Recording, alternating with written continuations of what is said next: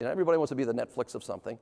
Well, what does it really mean? What is, what is the transaction? Is it a rental? Is it a weekly rental? Is it a daily rental? These companies now are, are in this space. They're in the subscription space. Unbelievable to me how many people are in that space. We have six Holman dealerships that have subscription.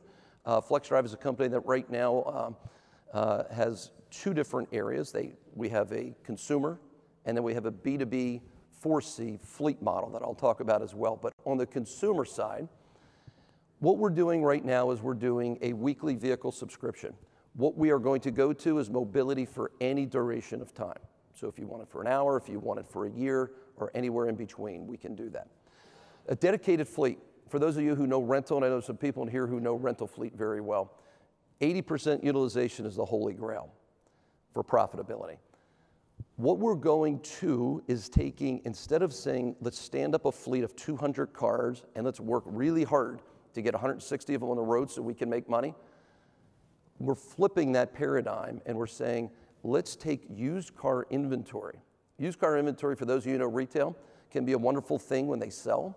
When they don't sell in 60 days, bad things happen. Let's monetize that stagnant inventory. Most car dealers have three, four million dollars of used car inventory sitting on their lot. They own those cars. Let's monetize that. Let's put those on subscription.